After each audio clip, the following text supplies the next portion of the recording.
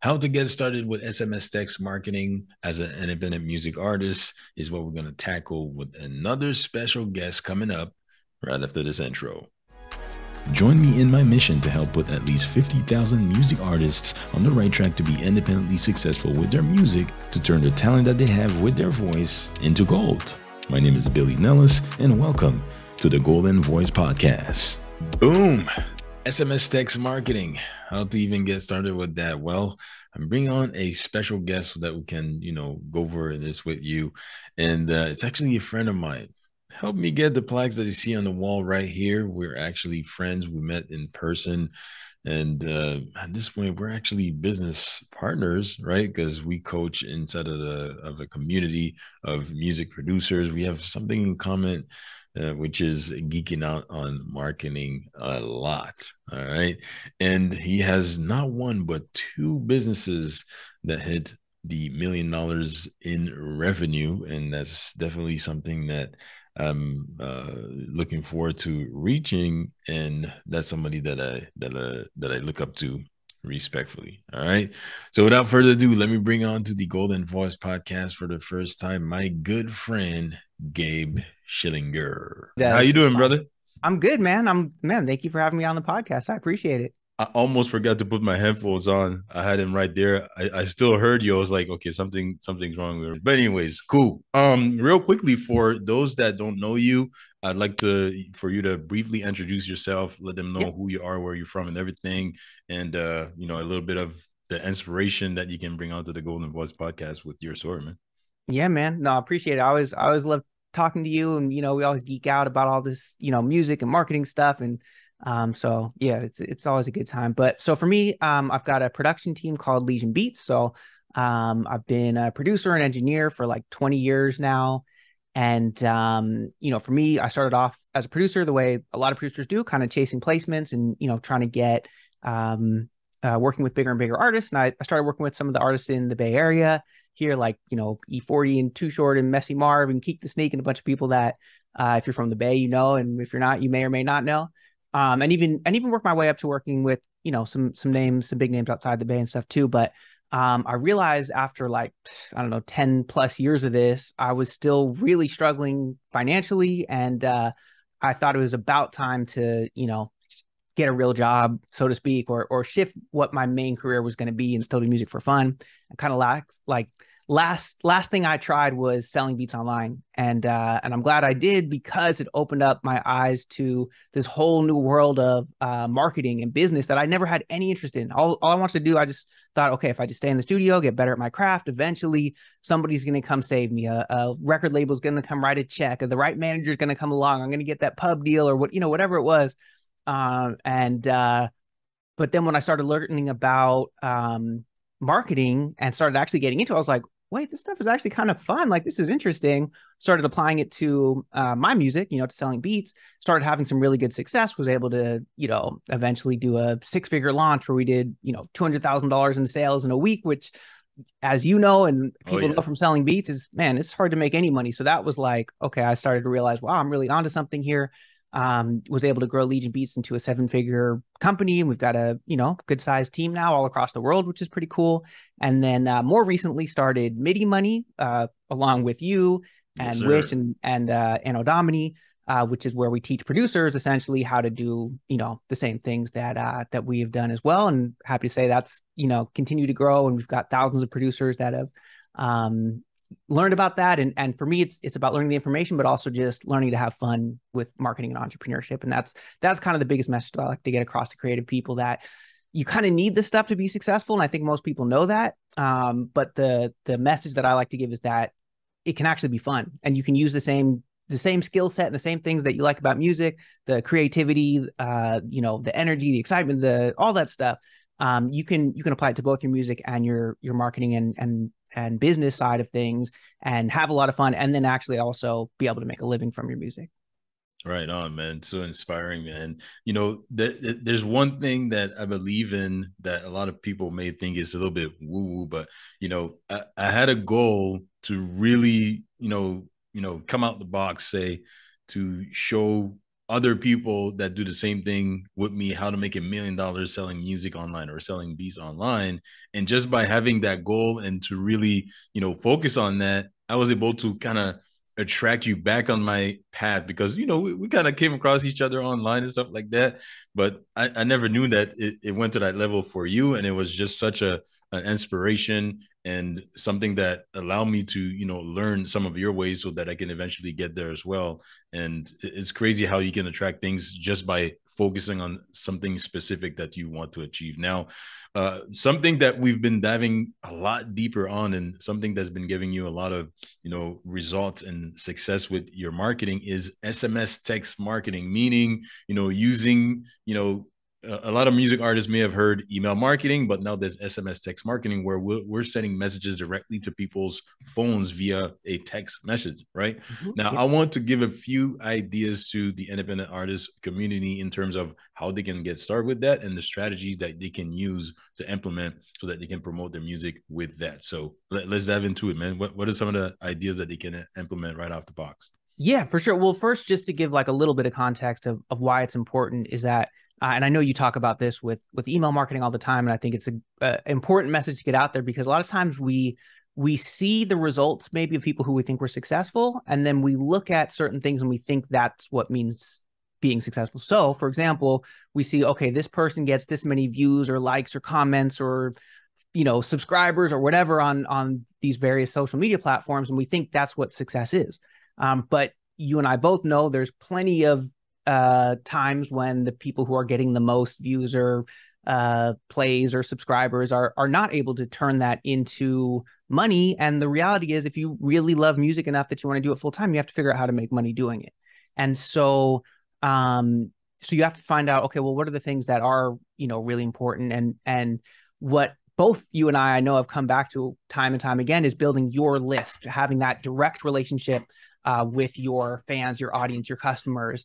Um, and so one great way to do that is email. I'm still big on email. I think it works. It's it's awesome. Uh, and then text messaging is another great version of that, where it's um, uh, in in combination of those two. I think it's really really powerful, and it's just it's kind of like there's something a little bit more uh, intimate about it, right? Because it's mostly I'm texting my friends at this point, right? But email is like, you know, you open your inbox and there's there's there's a lot of stuff, and it's from different businesses and companies, and I forgot to sign up for this or whatever. Um, so it becomes a lot more effective, right? Where the open rate on email is is going to be lower, right? Um, maybe you know I'm happy if I send something out to my whole list. If 20% open it, that's you know that's good. That's pretty yeah. good for me. Um, but if I send a text message, it's usually like 80%, 90% that are actually opening that. So it's pretty, it's pretty powerful. Um, and so yeah, so so that's the thing is it works really, really well. Um, one thing that I would say the flip side of that is because it works so well, you do have to be careful with it. So if you're an artist, you sign up for, you know, you're, you're going to want to use some software for this, right? You don't want to just like give people your phone number. Um, when you when you start doing this, be careful about not texting them too often, right? Because it's like you, you don't want to get a text message um, too often because it feels it is more intimate, right? It is like something you do with your friends. So if they if if somebody signed up to your text message list, they they signed up because they want to, but they're going to quickly get annoyed if you're texting them, you know, every day, for example. Um, so I find that the sweet spot is usually at the most about every week um, and probably about every couple weeks um, it is going to be the most effective unless um, they're signing up for something very specific, right? So maybe you're doing something uh, creative with your fans, or your audience. Um, you know, I don't know, maybe you're doing some kind of challenge, right? It's like a five day challenge for your for your audience, something like that. Um, then they might be expecting to get a text message every day. You can automate that, and there's ways to just you know actually set that up the same way that you can set up your emails where it's automated. They sign up, day one they get this day two they get this. Um, and even though that part's automated you still want to respond obviously right? Because again it is so intimate. Um, you should be responding to your emails too but i think especially a text message you get that text message from your friend uh, if you respond and they don't they don't respond back you're like you know you're like a little offended. So you want to make sure that you're staying on top of that as well. Um, so there's a few little intricacies that that you have to be careful with but all in all it's it's really really powerful. It's worked really well for me um, you know, in in promoting my music. Yeah, definitely. And even uh, on on for this podcast, um, I have a keyword just to text podcast to 647-277-5177 and that allows you know the listeners to get notifications when i release new episodes right? It can be something as simple as that. And yep. for some music artists it can be you know when you're on live stream and you want people to get your new single you can you know have them text single to your you know the numbers that you're going to set up for your sms marketing. And that allows you to open the conversation in the back end to nurture them and to continuously uh, send them things that relates to your world and what you're doing with your music right? So what, what are yeah. some of the ideas or or some of the things that you think independent music artists can use to uh, start collecting phone numbers uh, for what they're doing with their marketing? Yeah so you have to figure out well what what is my audience going to be interested in or my potential audience or my fans going to be interested in? And i think that starts from getting clear on who you are as an artist? What's your message? What's your brand? What are you talking about? What's what's the feeling that people come to you to get instead of coming to somebody else right? And so um, that's the first step is like figure out what what is that thing? And sometimes it's a combination of uh, you know maybe you make more kind of party music or it's more kind of emotional or whatever. And, and i know every every artist every producer immediately has the same reaction oh i'd make everything. It's like that's fine. That's totally fine.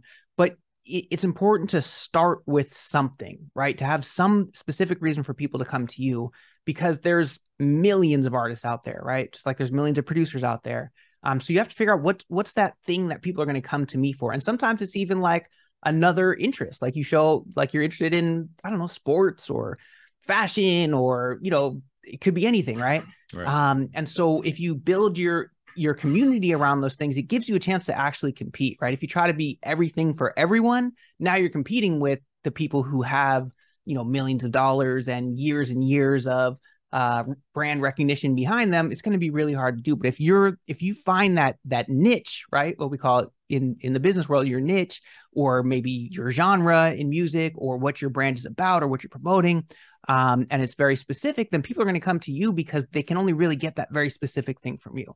So now, once you've got that, now you just reverse engineer. Well, okay, how can I incentivize those people to want to give me their phone number or text, you know, this keyword to to to this number so that they can be on my list, right? Because that is even though it's free, it's still it still is a cost to them, right? It's right. if every time I enter my phone number, especially uh, or my email address, it's like okay, there's a cost here. There there's a chance they might be spamming me. There's a chance that you know it's not going to be worth my time or whatever. Um, so you have to give them a reason, right? Um, and usually that's going to come from reverse engineering. Okay, what what am I about? What is the thing that people come to me for and is there some some little taste of that i can give to them in exchange for um for giving me their phone number or email address right so that's kind of like the bigger the bigger concept um and then you just kind of figure out the specifics from there right um it, it can be as simple as like hey here's some exclusive content that you wouldn't get otherwise right? Here's some kind of behind the scenes of of my music. Uh, maybe it's you know behind the scenes of you creating that music or you know something like that that they can only get through through opting in. Um, and that's going to be really effective for the people who are already fans of your music who already at least have heard your music and are interested in it. So that mm-hmm. that'll get some people um, and then sometimes you might also want to think about okay well how can i bring in new people and turn them into fans? And that's where it might be really uh, advantageous to figure out okay like what what is my angle um, or what is at least one of my angles of what people come to me for right? So like you're a producer you make beats but artists come to you because they know they're going to learn about marketing and entrepreneurship. They know they're going to you know they all all the different things that you as a person are about um, they know they can come to you for those things right that's why ultimately they're going to end up getting those beats from you it's it's yes because they like your music but it's also because they come to you for that thing right so perfect example, then you could say, hey, text, what what's the number? Uh, text, uh, what, what would be the keyword? Because the number is 647-277-5177, but uh, we're, we're going to have a call to action to a tool that you can actually also use uh, to get started. But uh, it could be any keyword that you would text to, to my number, right? So, so right. that you can get some beats. Or for example, I have a keyword uh, on, on my uh, tool that I set up to get notifications when when I have new beats that come out. So you text the word beats to 647-277-5177. You opt in, and then anytime I upload a new beat, you get a notification uh, right on your phone to check out the new beat that I loaded on my beat store, for example. So yeah.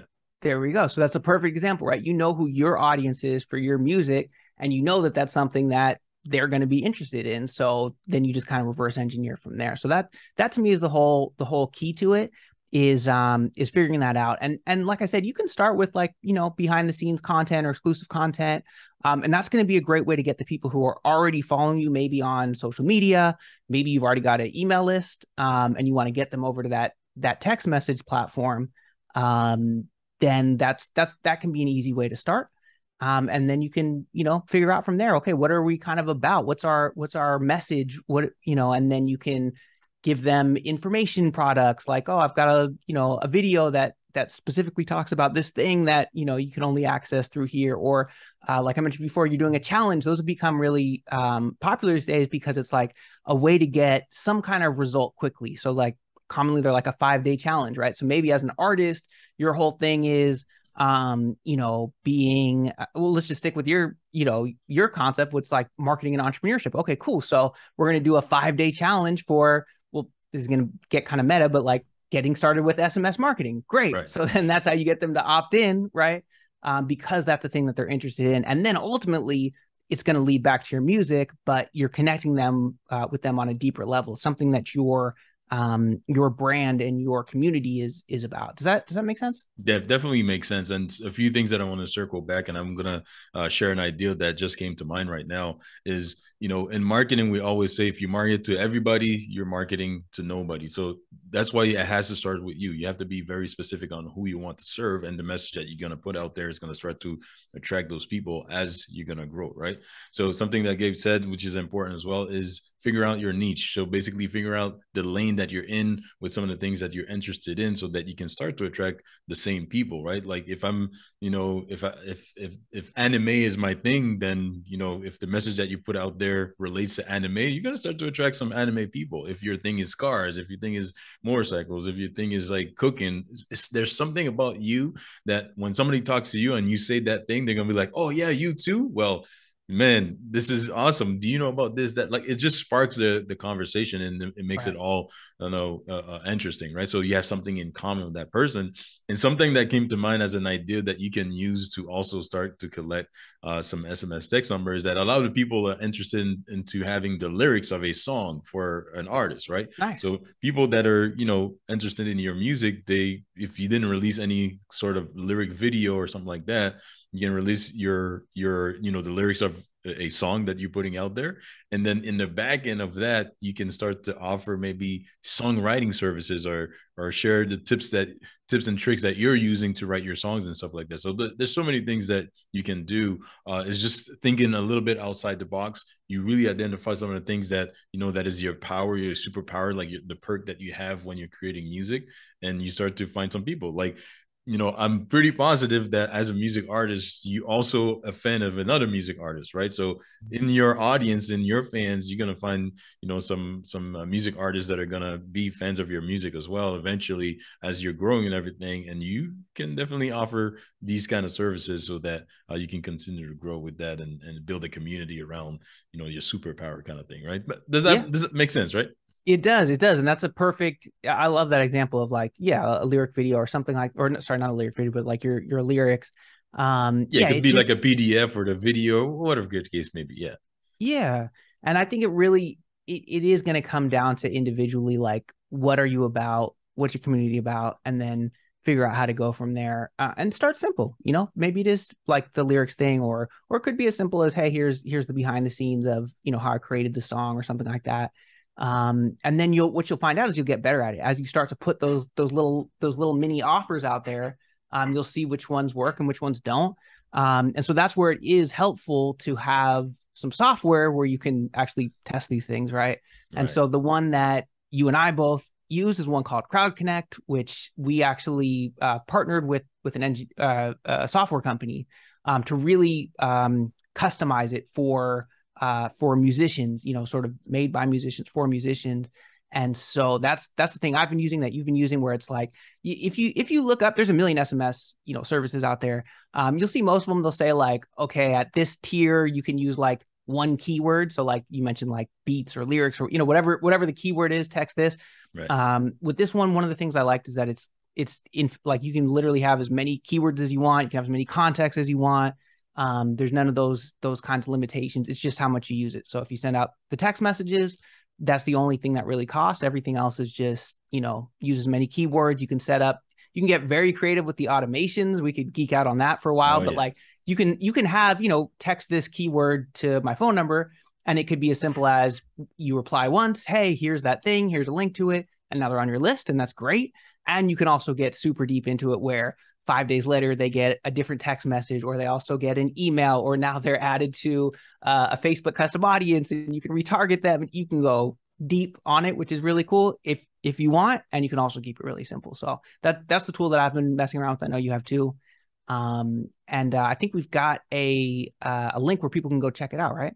Yeah. So if you text the word, and of course I'm gonna call that call to action for for for what we're using here. If you text the word SMS to 647-277-5177, you're gonna get the link to that tool, or you can also go to the goldenvoicepodcast.com forward slash CC so that's the goldenvoicepodcast.com forward slash CC for Crowd Connect. And you're going to get a link uh, so that you can, you know, get access to the tool that we're using for SMS text marketing so that you can get started. So hey, it was awesome. What we preach. We, we part, the exact same thing. We're just talking about it, and now you're just doing it. So exactly, you know, you know, we believe in it because this is what we do.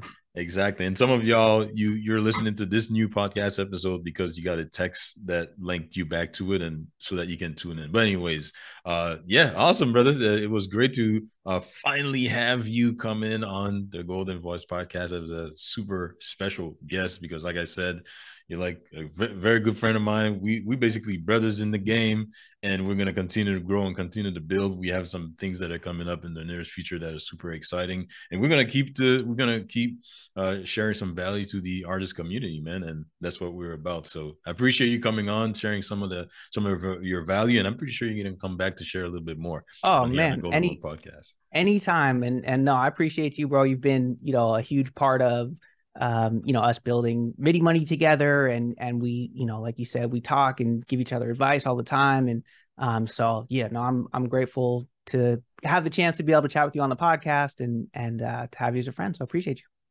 Awesome. All right. So uh, make sure that you subscribe to the podcast, that you follow from anywhere that you are tuning in, because we're going to come up with some more golden gem that's going to help you turn the talent that you have with your voice into gold. So this was Billy here in Big Shot Beats on the Golden Voice podcast signing out. I'll talk to you on the next one.